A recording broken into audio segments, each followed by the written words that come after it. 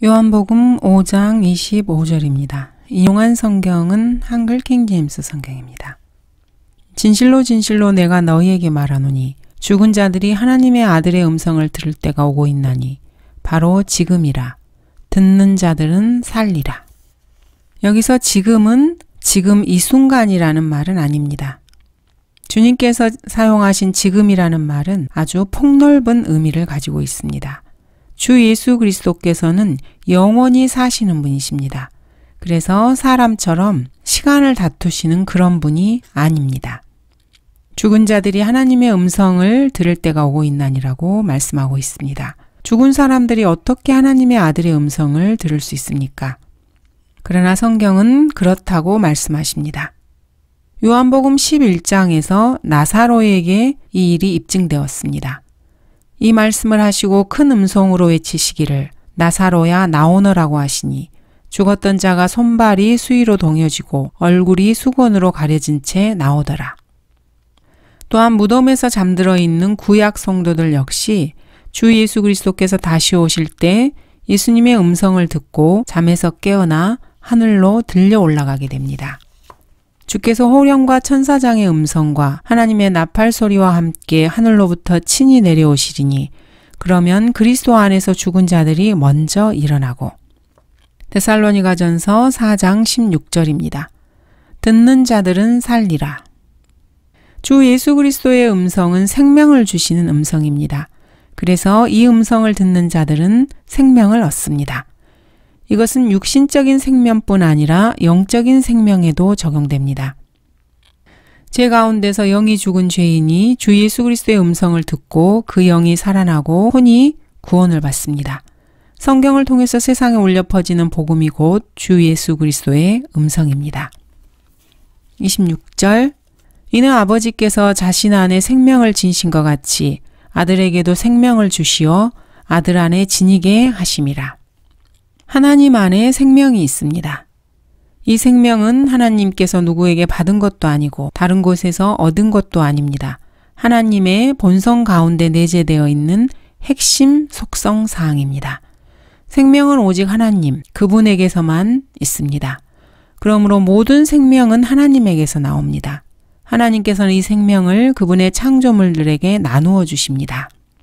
하늘이나 땅 위의 모든 생명체들은 그 생명을 오직 하나님에게서 받았습니다. 이 세상 그 어떤 것도 자기 스스로 생명을 가진 것은 없습니다. 생명의 온천은 오직 하나님이십니다. 그러나 아들에게 생명을 주시어 이 말씀은 주 예수 그리스도께서도 다른 창조물들처럼 아버지로부터 생명을 받는다는 뜻이 아닙니다. 성경에서 주다, 기브라는 말은 뭐뭐로 삼다, 뭐뭐가 되다라는 뜻을 가지고 있습니다. 이사야 42장 6절입니다. 나 주가 의로 너를 불렀으니 내가 내 손을 붙들고 너를 지킬 것이며 백성의 약속과 이방인들의 빛으로 너를 주어. 여기서 준다라는 말이 뭐로 삼는다, 못못이 되리라는 뜻입니다. 이사야 55장 4절입니다. 보라, 내가 그를 백성에게 증거로 주었고 또 백성에게 인도자와 명령자로 주었노라. 주었고 주었노라. 이 역시 무엇으로 삼았다. 무엇이 되었다라는 뜻입니다. 16절에서 아들에게도 생명을 주시어라는 말씀은 아들도 생명으로 삼으시어, 즉 아들도 생명이 되시어라는 뜻입니다. 주 예수 그리스도께서 하나님 아버지와 마찬가지로 그분 안에 생명이 있다는 것은 그분 안에 생명이 있었으니 그 생명은 사람들의 빛이라는 요한복음 1장 4전의 말씀으로도 충분합니다. 주 예수 그리스도께서 생명의 근원이시라는 점에서도 아버지 하나님과 동등하십니다. 예수 그리스도께서는 나는 생명이라고 말씀하십니다. 27절 또 아버지께서는 아들에게 심판하는 권세를 주셨으니 이는 그가 인자임이라. 하나님의 아들 역시 아버지 하나님처럼 심판의 권세를 가졌는데 이는 그가 인자이기 때문이라는 그런 말입니다. 여기서도 주셨으니라는 같은 의미로 쓰이는 단어가 있습니다. 아들이 심판하는 권세를 가진 이유는 아들이 인자이기 때문이라고 설명하십니다. 하나님의 아들이신 분은 사람의 육신을 입고 오셔서 사람들 가운데서 거하시게 되었습니다. 그 가운데서 예수님은 멸시받으시고 거부되셨고 그분의 영광이 짓밟히셨습니다. 그러므로 더욱더 심판의 권세가 그분께 있어야만 합니다. 멸시받으신 주님께서 지극히 높으신 영광과 권위의 자리에서 만물을 심판하셔야 합니다. 예수님은 육신을 입고 오신 하나님 자신이기 때문입니다. 28절 이를 이상하게 여기지 말라. 무덤들 속에 있는 모든 자들이 그의 음성을 들을 때가 오나니. 무덤들 속에 있는 모든 자들이 주 예수 그리스도의 이름을 듣는다고 말씀하고 있습니다. 이것은 최후의 심판인 큰 백보자 심판을 말합니다.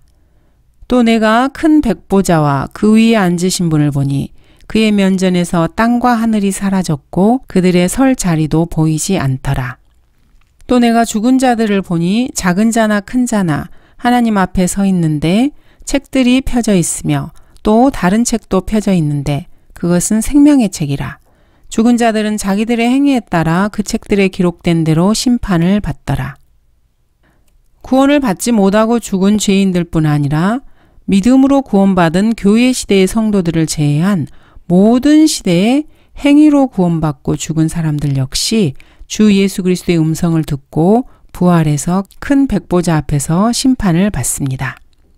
이 심판은 이미 판결이 난 심판으로 집행을 위한 심판입니다.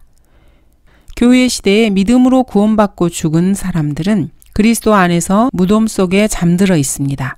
이런 성도들은 그리스도의 공중 재림 때 부활해서 하늘로 올라갑니다.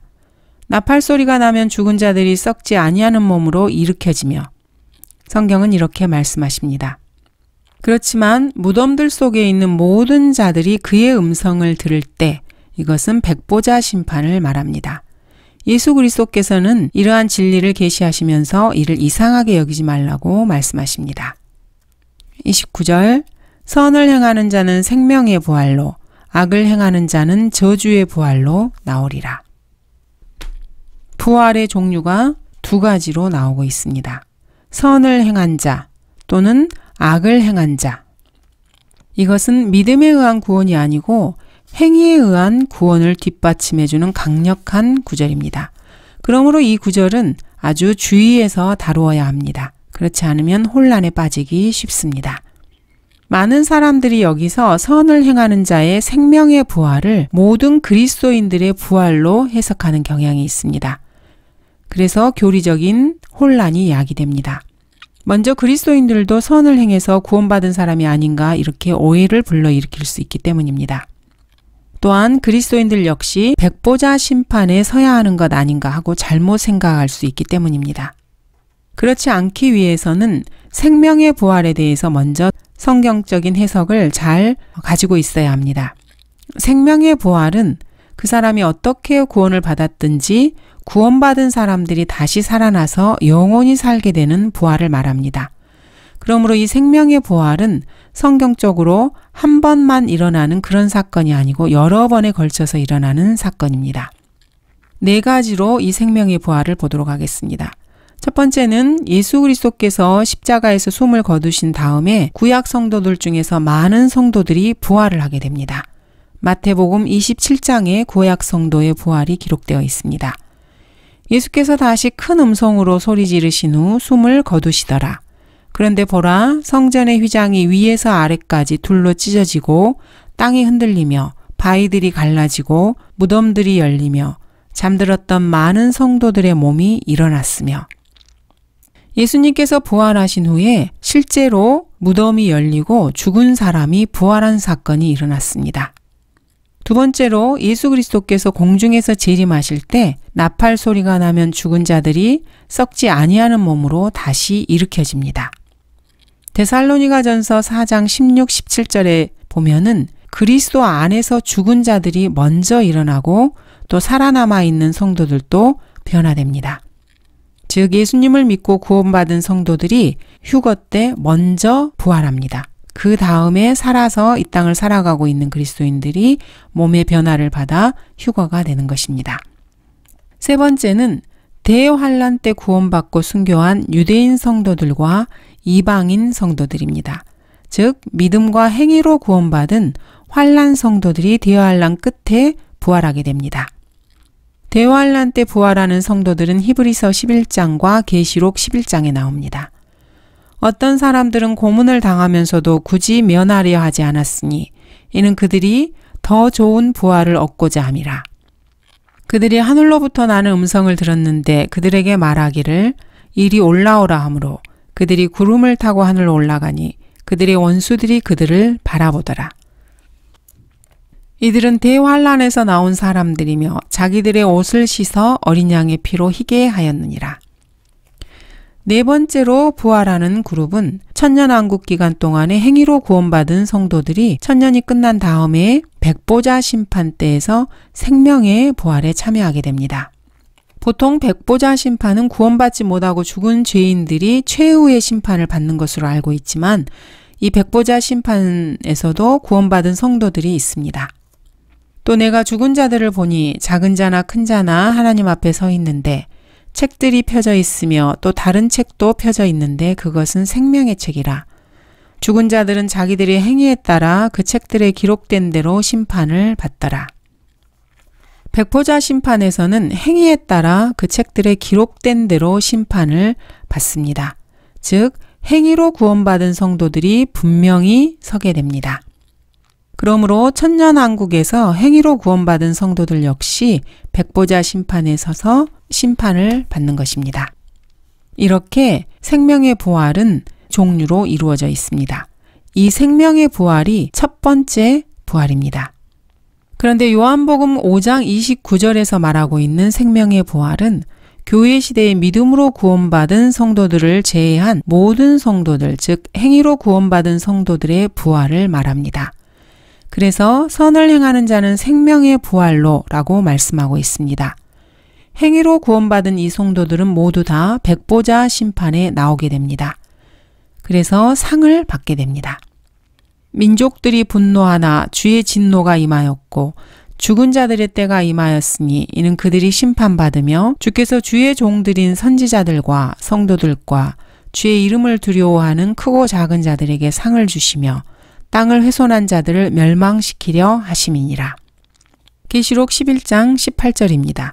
이 구절은 천년 왕국이 끝나고 백보자 심판에서 일어날 일을 말하고 있습니다. 지금 교회 시대 신약 성도들은 믿음으로 구원을 받습니다.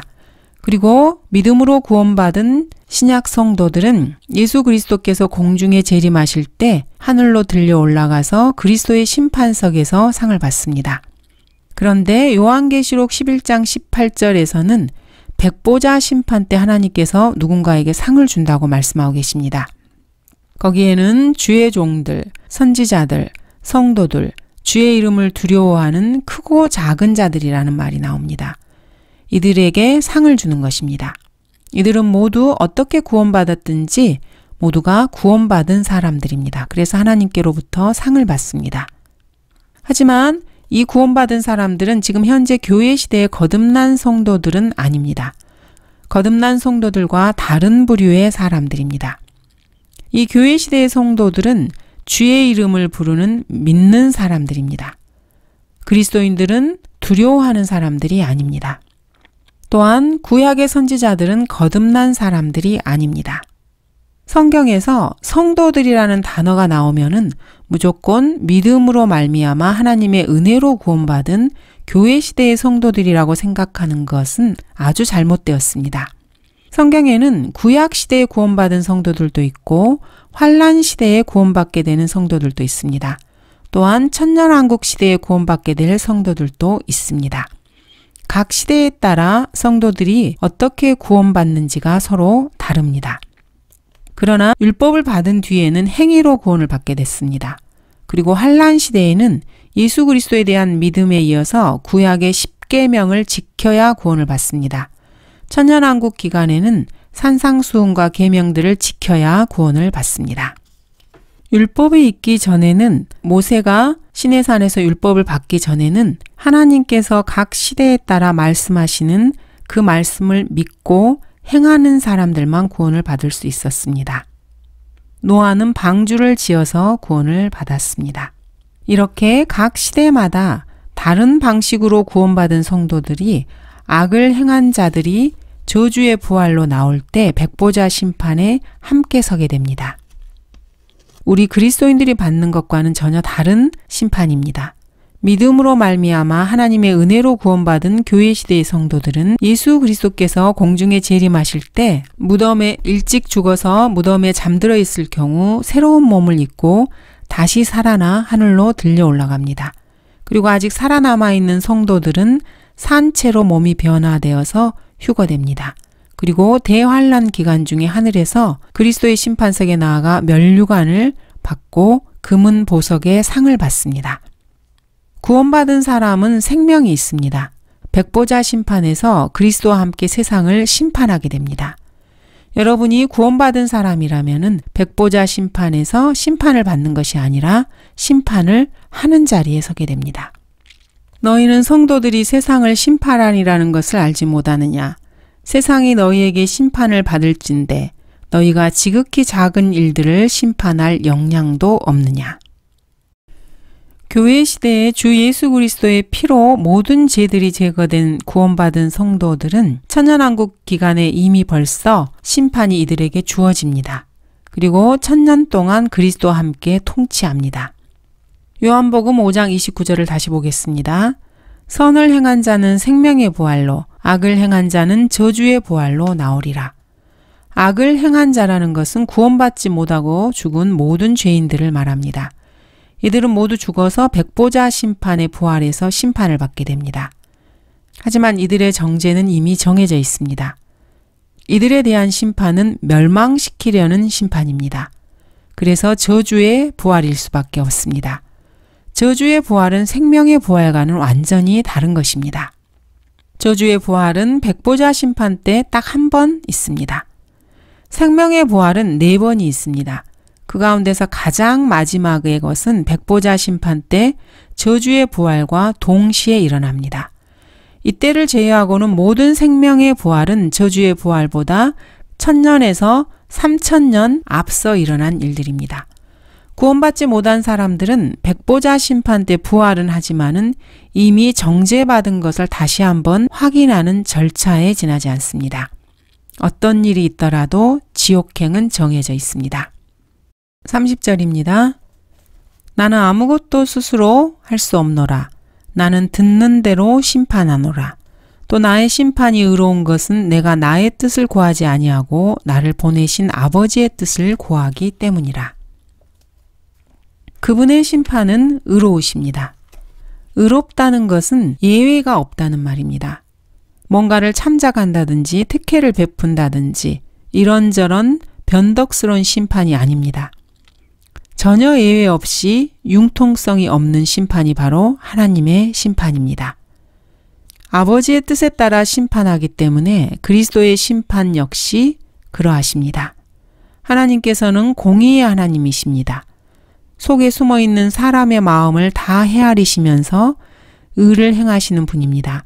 그 누구도 하나님의 심판에 대해서 억울하다고 불평할 수 없습니다. 하나님의 심판에서 은혜를 구하고 자비를 기대해서는 안 됩니다. 하나님께서는 공의를 행하시는 분이십니다. 하나님께서는 갈보리에서 이미 여러분을 위하여 베풀 수 있는 모든 사랑과 은혜와 자비를 아낌없이 다 쏟아 부으셨습니다. 이제 의로 심판하실 때만 남았습니다. 31절 만일 내가 나 자신에 관하여 증거하면 나의 증거는 옳지 않은 것이라. 예수 그리스도는 하나님의 아들이시고 그분 자신이 하나님이십니다. 그러므로 예수님께서는 얼마든지 자신에 관하여 증거해도 그 증거는 옳습니다. 그런데 주님께서는 여기서 그렇게 말씀하지 않으십니다. 예수님께서는 아버지 하나님과 하나 되는 한 분이시기 때문에 혼자서는 아무것도 하실 수가 없습니다. 예수님 자신에 관한 증거 역시 마찬가지입니다. 예수 그리스도께서는 아버지 하나님과 완벽하게 하나이신 분이기 때문에 그분 자신이 증거하시는 증거가 옳은 증거입니다. 예수 그리스도는 아버지 하나님과 분리해서 독립적으로 무슨 일을 하시지 않습니다. 만일 아버지 하나님과 분리해서 독립적으로 뭔가를 하신다면은 그분께서는 아버지 하나님과 주종 관계에 놓이게 됩니다. 주 예수 그리스도께서는 아버지 하나님과 하나일 뿐만 아니라 아버지 하나님과 동일하신 분입니다. 그러므로 예수님께서 아버지 하나님과 분리되어서 단독으로 뭔가를 한다는 것 자체가 있을 수 없는 일입니다. 사람들 사이의 증언에 관해서도 하나님께서는 두세 증인의 입으로 모든 말을 입증하게 하라는 원칙을 세워 놓으셨습니다. 사도 바울도 모든 말은 두세 증인의 입으로 확정될 것이라고 말했습니다. 또한 장로에 대한 송사는 두세 증인이 없으면 받지 말라고 권면하고 있습니다. 모세의 율법을 무시한 자도 두세 증인의 증언으로 죽임을 당했습니다. 이렇게 볼 때 예수 그리스도께서도 여러 증인을 가지고 계십니다. 먼저 침례인 요한이 예수님에 대해 증거했습니다. 그리고 요한의 증거보다도 더 큰 증거는 그분의 일들, 즉 아버지 하나님께서 아들을 보내셔서 완수하게 하신 그 일들이 예수님을 증거하고 있습니다. 또한 세 번째로 아버지께서도 예수 그리스도를 증거하십니다. 나를 보내신 아버지께서 친히 나에 관하여 증거하셨느니라고 말씀하십니다. 또한 성경도 예수님을 증거합니다. 성경은 나에 관하여 증거하고 있음이라고 기록하고 있습니다. 이러한 증거들은 모두가 다 주 예수 그리스도께서 하나님의 아들이심을 증거하는 증거입니다. 그러므로 그 누구도 백보자 심판에서 나는 그분이 하나님의 아들인 것을 몰랐다. 이렇게 말할 수 있는 사람은 아무도 없습니다. 33절 너희가 요한에게 사람을 보냈더니 그가 진리에 관하여 증거하였느니라. 요한복음 1장 19절에 보면은 유대인들, 즉 바리새인들이 예루살렘에서 제사장들과 레이인들을 침례인 요한에게 보냅니다. 그리고 침례인 요한은 진리를 증거합니다. 보라, 세상죄를 제거하는 하나님의 어린 양이라. 내가 보았고 이분이 하나님의 아들이심을 증거하노라. 요한은 진리이신 주 예수 그리스도를 증거했습니다. 34절 그러나 나는 사람으로부터 증거를 받지 않지만 이 말을 하는 것은 너희로 구원을 받게 하려 함이라. 예수 그리스도께서는 사람의 증거를 필요로 하시는 분이 아닙니다. 침례인 요한은 물론 하나님께서 보내신 사람이었고 주의 길을 곱게 하라는 그러한 임무를 가지고 있었습니다. 그리고 침례인 요한은 자신의 사명을 충실하게 수행했습니다. 하나님께서 사람을 증인으로 먼저 보내신 것은 사람들이 원래 하나님 말씀보다 사람의 말을 잘 믿기 때문에 그렇게 하신 것입니다. 내가 내 아버지의 이름으로 왔으나 너희가 나를 영접하지 아니하는도다. 만일 다른 자가 자기 이름으로 오면 너희는 그를 영접하리라. 이것이 사람의 모습입니다. 하나님께서는 이것을 잘 알고 계셨기 때문에 침례인 요한을 예수님의 증인으로 먼저 보내셨습니다. 그러나 하나님이신 예수 그리스도께서는 사람으로부터 어떤 증거를 받지 않으십니다. 사실 사람은 하나님을 증거할 능력이 없습니다. 하나님을 증거할 능력은 오직 하나님 자신뿐입니다. 그분 자신이 행하신 일들과 하나님의 말씀만이 하나님을 증거할 수 있는 능력을 갖습니다. 그렇지만 사람은 하나님보다 사람을 더 믿습니다. 그래서 예수님께서는 나는 사람으로부터 증거를 받지 않지만 너희로 구원을 받게 하기 위해서 이렇게 한다고 말씀하십니다. 감사합니다.